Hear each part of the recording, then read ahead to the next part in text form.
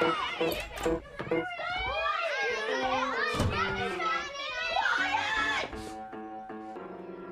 driving your poor father to distraction. Stop it! Lily, what's this word? Lovingly. He took her lovingly by the hand. What's your book about, Evangeline? It's about the daughter of a nice man who remarries after his wife dies and the stepmother's horrid to her.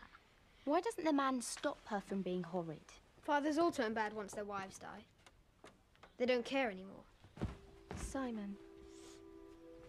Yours does. No, he doesn't. Does he read to Chrissy like he used to? Does he play cricket with us like he used to? He doesn't even sing lullaby to Aggie anymore. We hardly see him. He loves you, Simon. You know that. He's just had an awful lot in his mind since. Since Mother died.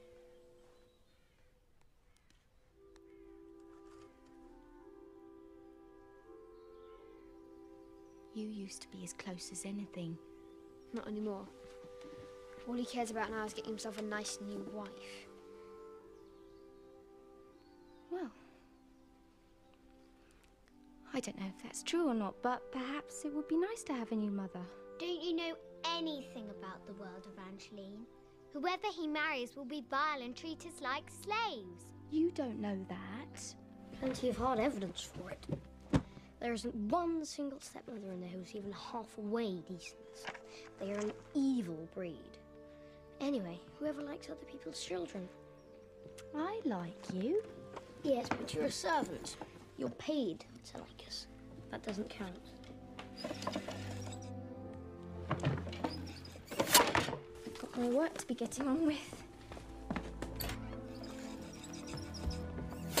I really am hungry, he maybe bring me some secret toast and jam?